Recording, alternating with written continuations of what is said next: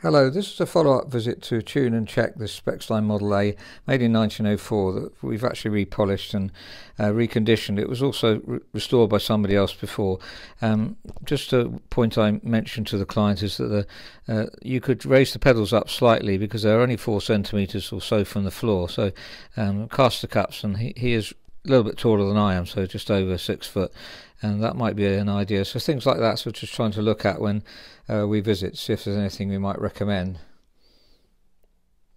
So first of all, I'm going to check the pitch of A, and as you can see, it's about 444, which is the maximum we'd have it. We tuned it at that before it went out of the workshop and uh, hasn't really dropped at all. So this house has got good humidity obviously not got not dried out. No I, will leave it at 444 the client's not playing with other instruments um, 442 would be the normal thing I'd leave it at maximum but I don't think it's a problem and, and it's, it's an advantage not to turn the pins too much so if you are obviously keeping it at concert pitch you're tending to turn them all a bit we've mentioned this before uh, having it slightly sharp is uh, useful because you have less pins to turn. I hope that's understandable. So I'm going to check pitch generally and see. That should be slightly flatter if anything. The, the, the bass is stretched downwards usually a little.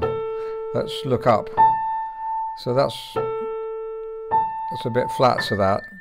So this is obviously not an extremely accurate tuning uh, uh, measure. It's, I don't use it when I'm tuning, but it's it's quite useful to start with. So this C, I tend to start tuning using with C.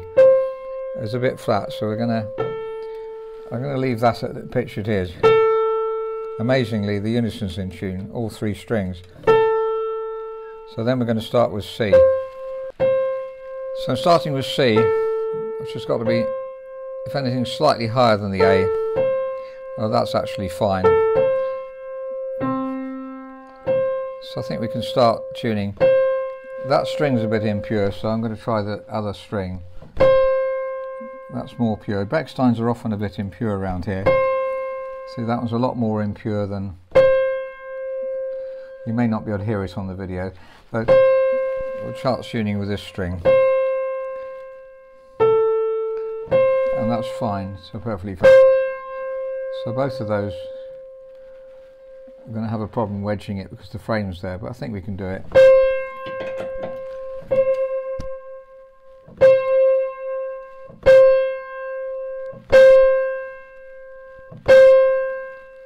Now if the string's slightly impure, no they're not, those two are pure.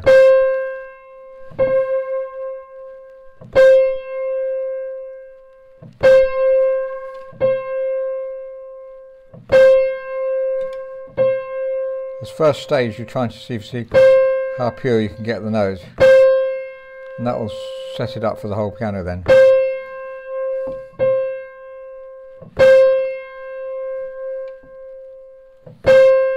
I think that's close as I can get it. It's nearly 100% and the other string wasn't so pure so let's have a listen to that. I don't think we're going to get purer than that. It's as good as we're going to get. So a slight impurity on one of those strings means it gives the sense of it beating slightly. And then I'm going to drop to the C below. I'm not going to show you all the tuning because it would be too long a video, but I hope that gives you some idea. So drop C octaves, and that's more or less pure. If anything, very slightly stretched. And I haven't tuned the octave onto the G. This is my order of tuning and that should be slightly narrowed that octave so slight beating on it and that's fine but noticeably all the strings is I think the middle string is the one that's mostly up. Well we'll tune them to that left hand one. I just put downward pressure on. I hit it reasonably hard.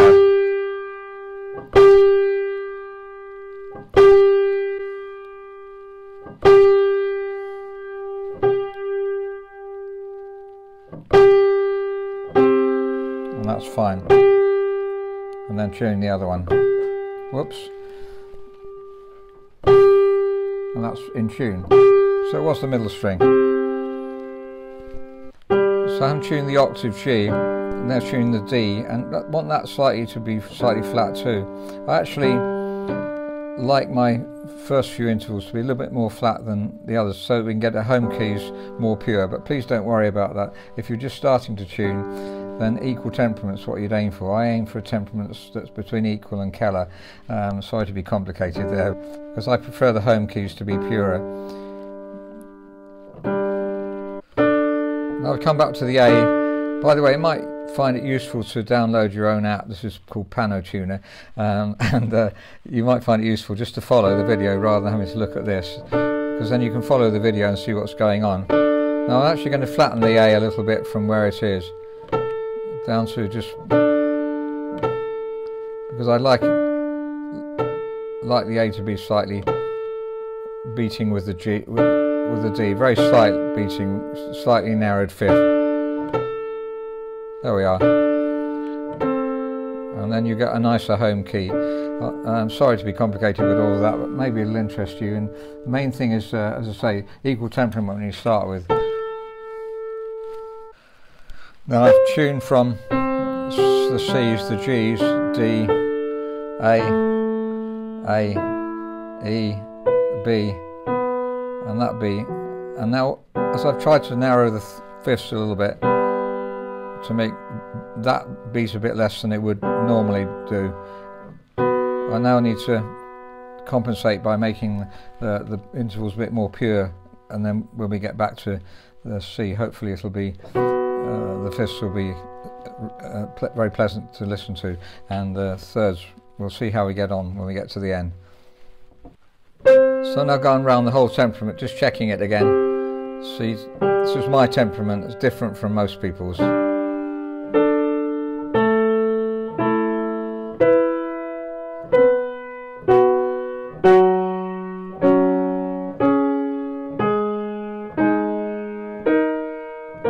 Back to the C again, you want the fifth here and the fourth here not to be beating too much. And as I mentioned to you, in trying to get the home keys, so they're beating slightly less, that third slightly less than this one. It's quite a lot less, and Kellner temperament is a huge amount less. In Bach's time, there's, there's a lot of talk about temperaments, uh, but as I say, if you are new to tuning, recommend equal temperament really. If you're going to take tuning exams, equal temperament is the important thing to go for. And then later on, you can try out sort of older temperaments. And I prefer the sound when that chord is more pure than it would normally be if you tune that third sharper. So not hugely different, but just something to think about when you're tuning. So now we're going up from C sharp here right to the top of the piano very slight sharpening the octaves. That's something you, you do if you're a tuner. There's some tuners sharpen them more than others. I try to keep them as little bit sharp, as little sharp as possible, uh, so that the, the, octave doesn't sound too sharp. But it does need to go up slightly, unless you've got a very long piano, in which case you might not hardly need to sharpen it at all. It's to do with the inharmonicity of the bass strings, and that's. So I'm trying to get as pure as possible. And that is quite sharp. Just easing it slightly to bring it down very slightly. Of course, stability of the tuning is more important than anything I'm talking about. So really to make sure the tension's equalized here. So between this bit and this bit have the equal tension. So I do that by encouraging this down as it were. A lot of people do it by hitting it hard as possible. That's another way of doing it. If you do hit it hard, you need ear protection if you're tuning all the time. Uh, that's a bit too sharp, so just bring easing it down.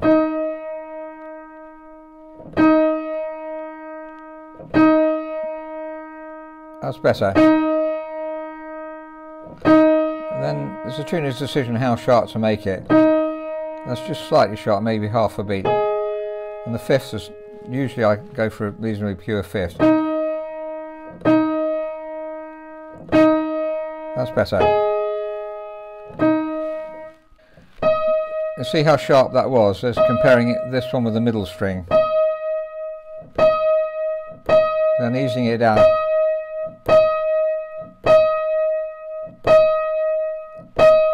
Hitting it quite hard, easing it down. I know tuners have different techniques, so please do put your technique at the bottom of the video if you prefer something else.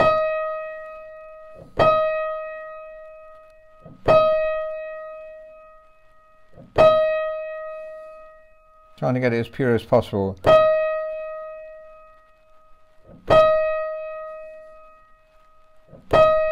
You might need to go past it just to see how pure you can get it. And there's all three strings, pure as I can get them. And slightly sharp on the octave. I've gone right up to the top of the piano in octaves and we're going to do, do the tenor and bass now. I've actually left a few of the top notes out for, for the end because I like to hear them in conjunction with the rest of the piano.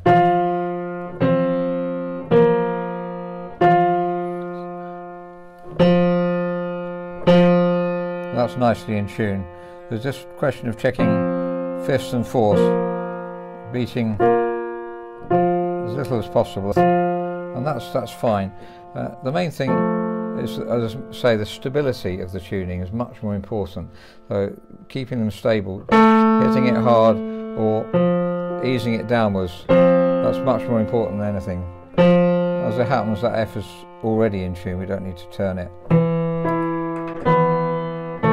And also, E is slightly out.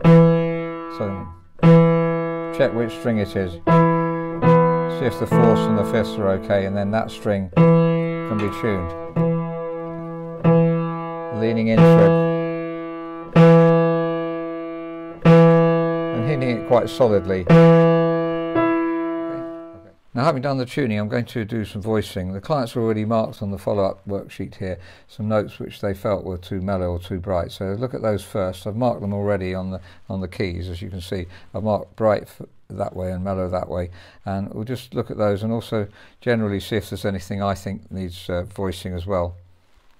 So now we're going to find voice and normally we're voicing mainly for bright notes so we'll do the fir first before we do the mellow. Now the piano's been pretty well played in uh, as you'll see on the previous video I'll give a link to. Somebody else did this work. We've uh, refined it a bit more, tried to refine it a bit more um, and you can see if you look at the dent indentations that it's been played uh, both by the previous client and this client and been played in nicely so now it's a good opportunity to voice it so uh, this one here was sort of a bit bright. We'll start at the bottom. So if this is a bit bright, uh, what I'm going to do is just at the very tip, first of all I'm going to feel the hammer, that feels fine, nice and tight. Don't want to open it up here particularly anymore. Uh, it's a good tone, so just very gently on the tip. We want to go no more than 1.5 millimeters deep according to the Steinway course that we did. Here we're going to go 1.5 deep, exactly on the, on the strike point. So we'll, we'll perhaps just test two or three of these before we do the rest of the, of the piano. Uh, I'm going to do that one and this one here is definitely bright. This is the last one in the row. In fact I'll show you, uh, listen to that before we actually voice it. So here's the break point and if you look at the notes that's where the bass strings end and the treble strings start and they're definitely, and the clients picked it up uh, and noticed the difference in voicing there. So we obviously try and disguise them because we're not going to get that exactly the same as that one but we can bring it down and not make it too too down, otherwise it will sound a bit soggy. So we'll see what we can manage to do. It's quite common for Bechsteins to have uh, quite a pronounced break point here. So I'm going to voice on the point at which it's on strike point. So as I say, no more than 1.5 millimeters. Um, I think that's about correct. There's no official if you look at all the manuals, won't find anything official. So if you're a piano tuner, do have a slightly different idea, don't be frightened to try it. Um, I don't think you should have to go officially by the book. So this will definitely mellow it, as we'll see in a minute. So just fluffing it up as well. I tend to like to fluffing it up, and I can see which ones I've done. Although fluffing it, making fluff isn't going to help necessarily, but it just tells you, and that's definitely voiced down. So we'll see how that compares with the one next to it. You can hear now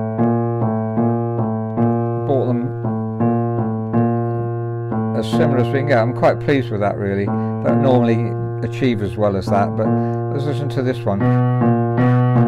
So that's brighter now than the left hand one. So perhaps go for the, these three as well. I think those are about right. We're going to do a bit of voicing anyway on some of the others. So now we're going to voice the ones next to it, not quite so much, just gently. It's uh, important not to go too far, you end up with a soggy sounding hammer, as it were. Um, so you want to balance this really. So I think we said we'd go for three there, so we'll do three of them. Now have a listen to that. Of course, you could voice all day long, trying to get better and better. Um, and uh, certainly, if the client would like us to, we could spend a whole day voicing the whole piano, trying to get it even more accurate. So now let's listen. A normal way of testing is doing in semitones like that. And they're quite similar. And that's slightly brighter. That's one we didn't do. But I think I'm going to leave it at that because it, it won't sound quite right. It's really difficult to know. You have to make your own decision, obviously. That's too bright. And the client didn't mark that one, interesting enough. Maybe because he noticed these other ones so much, so we've marked that one as well. So we're marking that. Um, I think I put my marking a bit further down. We know it's my marking then. And we, I've already rubbed off a couple of these down here because I felt they were correct now. Now the mellow ones that we've uh, he, the client's identified, we've um, one of them I've done. So just lightly refaced it because um, they are slightly indented. So refacing it, just pulling it round, make it a bit more of a point, really. And then afterwards, I like to smooth it off like this.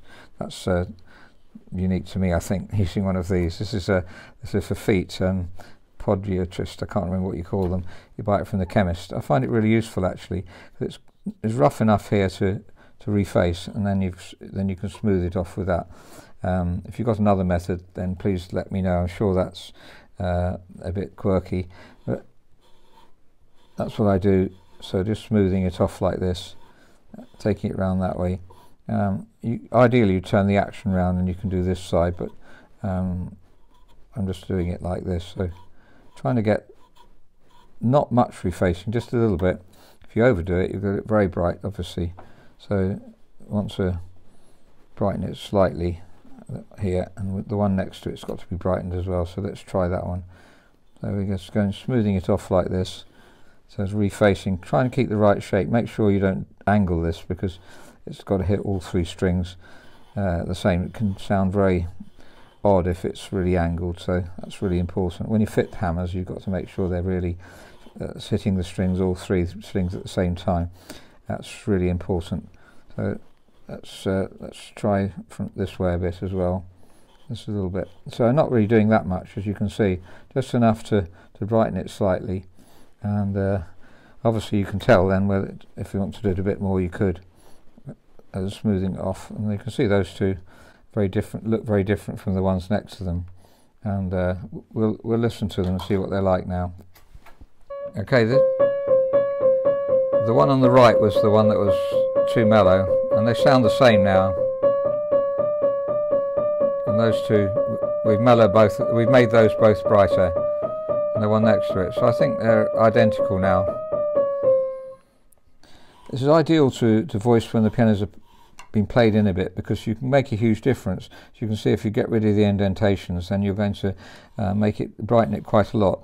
Um, so when the hammers are first put on, uh, we, we, voice it as much as we possibly can. When it's played in like this, may, let's say after two or three years, reasonable amounts of playing, uh, then voicing. It's an ideal to voice then because you can make make a huge difference. And also the client um, will get you have got used to the piano and what they would like it to be. Maybe they find it's generally on the bright side or mellow. So uh, this is uh, ideal really as I say to to voice after it's been played in. Because we didn't put these hammers on ourselves they are slightly more played in than they would otherwise be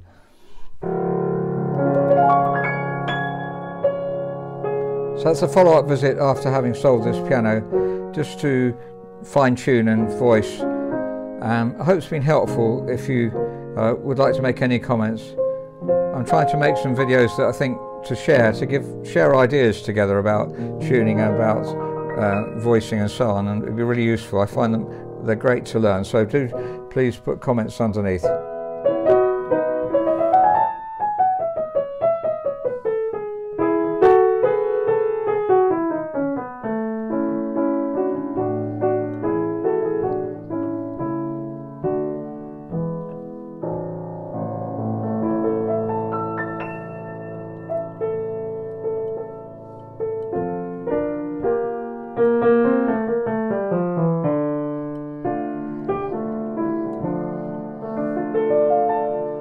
I'll put a link at the bottom of the video uh, to the, this piano when it first came into stock and the assessment we made of it.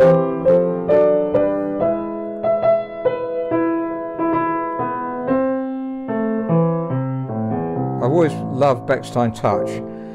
If you've got a piano that you like regulated, restored, polished, or you're interested in buying a piano from us, please do write to us info at robertspianos.com. Thank you very much indeed for listening.